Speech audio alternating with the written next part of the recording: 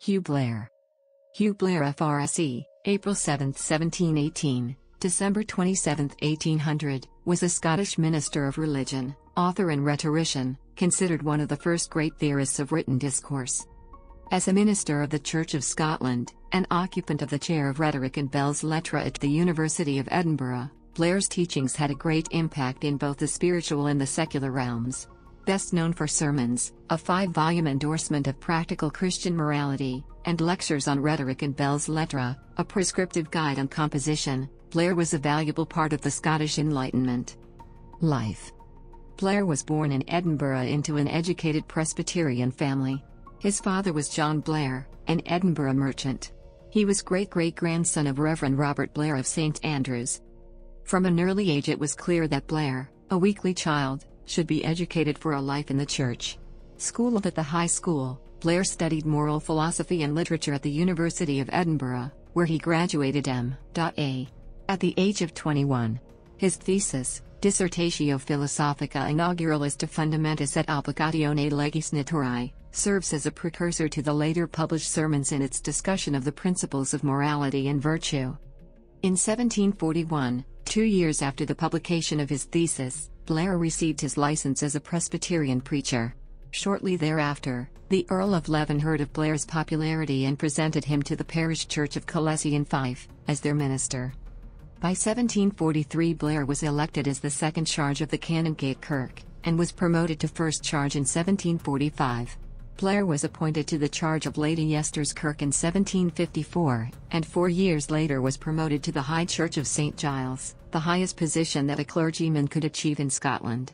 Blair maintained this position for many years, during which time he published a five volume series of his addresses entitled Sermons.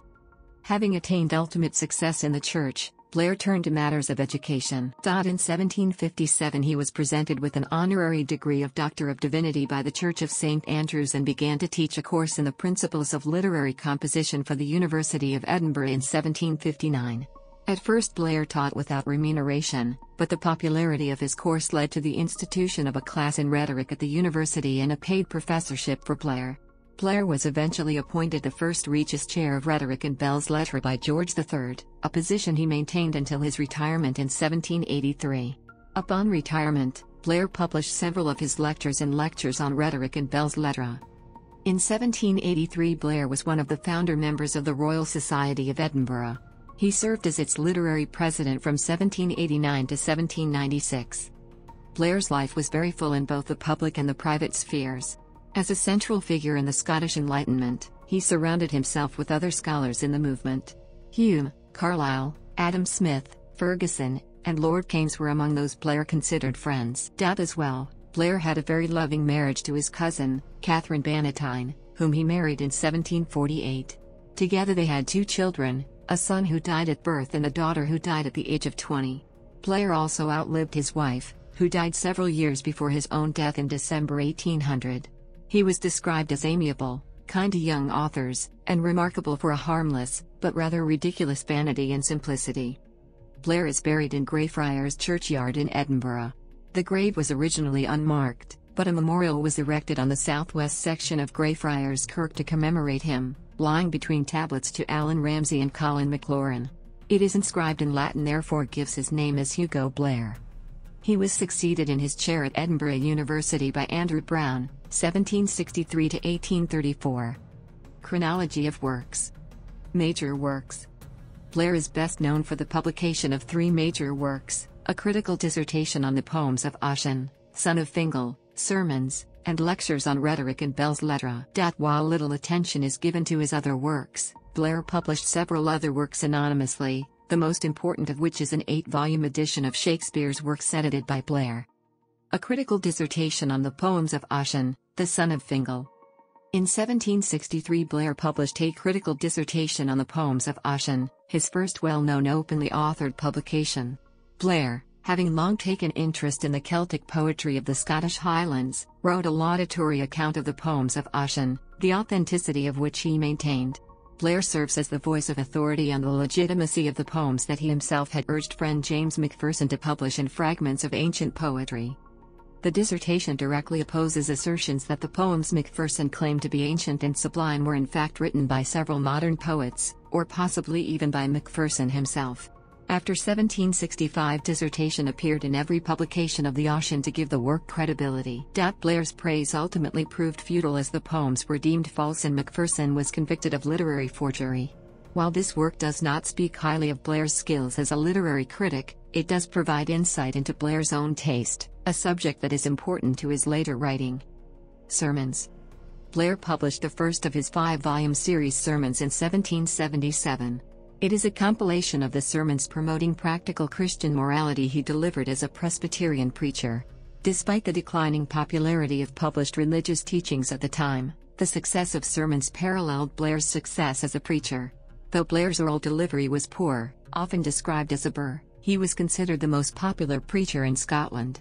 His success is credited to the ease with which the audience could follow his polite, organized style, a style that was translated easily into print. Sermons reflects Blair's position as a member of the moderate or latitudinarian party. In many respects, Blair was socially conservative. He did not believe in radical change, as his teachings were safe and ultimately prepared for the upper classes.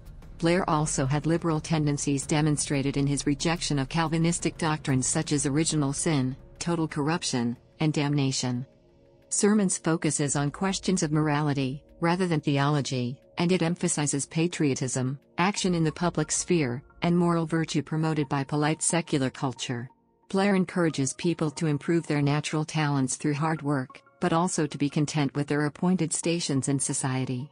He urges people to play an active role in society, to enjoy the pleasures of life, to do good works, and to maintain faith in God. Blair's appeal to both emotion and reason, combined with his non confrontational, moderate and elegant style made each volume of sermons increasingly popular. Four editions were published in Blair's lifetime and a fifth shortly after his death. Each volume was met with the greatest success, as they were published in many European languages and went through several printings. Though Blair's sermons eventually fell out of favor for lacking doctrinal definiteness, a bucket of warm water, as one opinion puts it, they were undoubtedly influential during Blair's lifetime and for several decades after his death. In Jane Austen's Mansfield Park, Mary Crawford, a cynical critic of the church, suggests that a wise clergyman would do better to preach Blair's sermons than his own. Lectures on Rhetoric and Belles Lettres. After retiring from his position as chair of Rhetoric and Belles Lettres at the University of Edinburgh in 1783, Blair published his lectures for the first time, deeming it necessary because unauthorized copies of his work threatened the legacy of his teachings. The result is arguably Blair's most important work. Lectures on Rhetoric and Belles Lettres. Lectures, a compilation of 47 of Blair's lectures given to students at the University of Edinburgh, serves as a practical guide for youth on composition and language, a guide that makes Blair the first great theorist of written discourse. Lectures is important not because it presents radical new theories. In fact, Blair himself admits that the work is a suffusion of his understanding of classical and modern theories of language. Lectures draws on the classic works of theorists such as Quintilian and Cicero combined with the modern works of Addison, Burke, and Lord Kames to become one of the first whole language guides. As one of the first works to focus on written discourse, rather than solely on oral discourse, Blair's Lectures is a comprehensive, accessible prescriptive composition guide that combines centuries of theory in a cohesive form. The intention of lectures is to provide youth with a simple, organized guide on the value of rhetoric and Belles Lettres in the quest for upward mobility and social success. Blair believed that social cultivation, and most importantly the proper use of polite literature and effective writing, was the key to social success. For him, an education in literature was socially useful, both in its ability to elevate one's social status and its ability to promote virtue and morality. Blair also acknowledged that a person must have virtue and personal character, as well as knowledge of literature to be an effective speaker or writer. While his lectures certainly provide ideas on how to compose texts, the focus increasing becomes the proper response to written literature.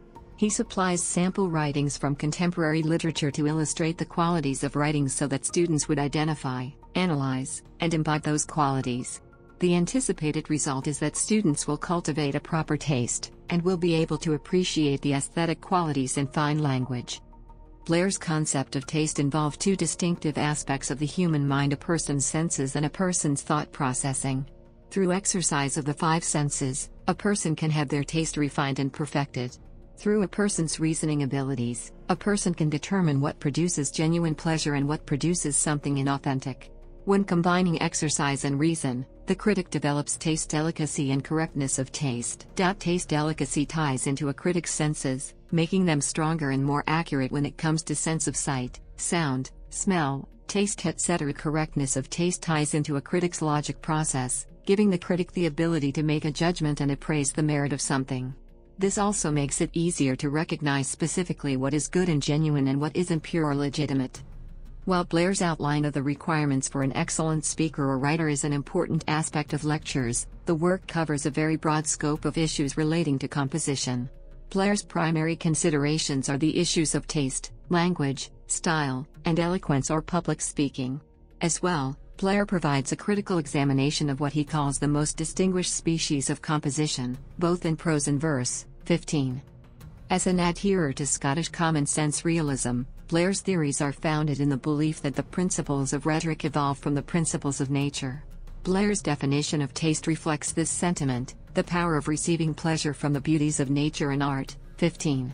His analysis of the nature of taste is one of his most important contributions to compositional theories because taste, according to Blair, is foundational to rhetoric and necessary for successful written and spoken discourse. While Blair's work is generally a safe composite of multiple theories, it contains many valuable insights, such as the aforementioned analysis of taste.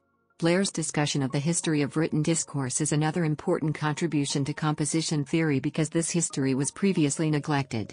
As well, Blair's naming and defining of four generic categories of writing historical writing, philosophical writing, fictitious history, and poetry, and his analysis of the different parts of discourse plays an important role in the development of later compositional theories.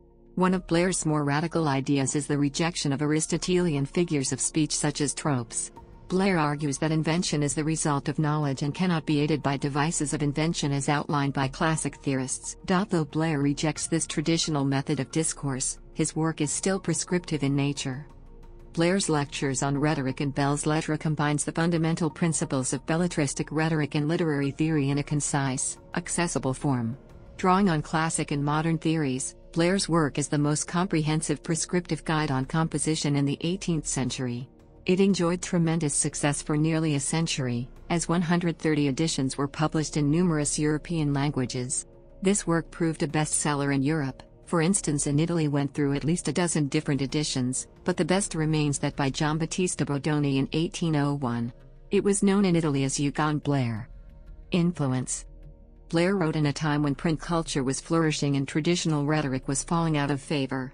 By focusing on issues of cultivation and upward mobility, Blair overshadowed the prevailing opinions of rhetoric and capitalized on the 18th century belief in the potential to rise above one's station. At this time, new money industrialists and merchants caused the middle class to rise and the English empire to grow. Blair's optimistic view that upward mobility could be affected by an understanding of eloquence and refined literature fit perfectly with the mentality of the time. In particular, the ideas presented in lectures on rhetoric and belles lettres were adapted in many prestigious institutions of learning and served as the guide on composition for many years. The lectures were predominantly popular in the United States, with colleges such as Yale and Harvard implementing Blair's theories. After the authenticity of the Ossian poems was disproved, a critical dissertation on the poems of Ossian caused a decline in Blair's credibility. Sermons was criticized for its sentimentality and lack of doctrinal definiteness and it failed to adapt to changing tastes. Lectures too did not maintain its popularity as theorists such as Whately and Spencer, drawing on Blair's theories, dominated the domain of composition theory.